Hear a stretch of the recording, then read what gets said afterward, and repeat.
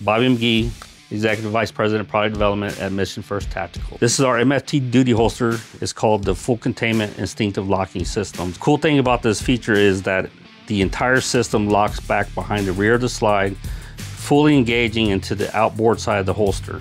So the harder I pull up, the harder this locks engage. We have 600 times more lockup surface area on the rear of the slide compared to traditional ALS lock, which is at the ejection port. That 50 thousandths of lockup has nothing compared to our 600 time lockup on the rear of the slide. The integrated Neo magnet follows the travel of the handgun in the up and down position.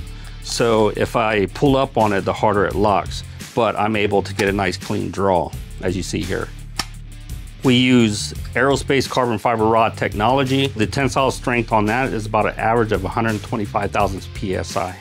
So we have that on the front and rear of the actual handgun holster here. We use that so we eliminate a lot of the screws on the back and the front so it keeps it a little bit more compact and nice clean lines. So the cool thing with this is that it's anti-snag, so dog leash, seat belts or anything, it just glances over the top of that.